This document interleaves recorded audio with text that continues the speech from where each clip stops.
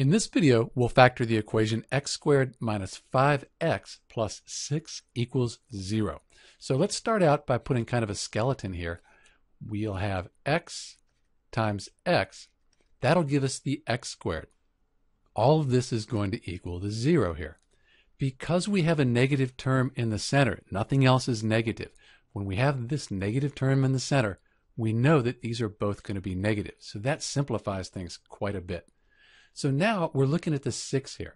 And we want to know what factors of 6 will add up to this negative 5 here. So we could have 1 times 6, or we could have 3 times 2.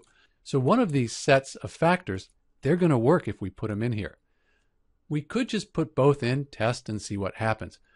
But I know since I have a 5 in the middle, 3 plus 2, that'll give me the 5. So I'm going to try this first.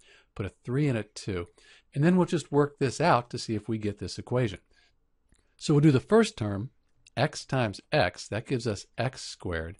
Then we'll do the last, x times minus 2. That's minus 2x. The inside terms, minus 3 times x is minus 3x.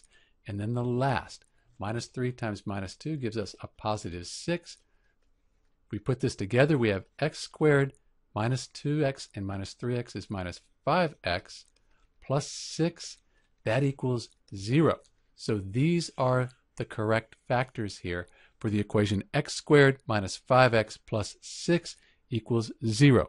If you wanted to check, you could try the factors 1 and 6, but that actually doesn't work out. It won't give you this equation here.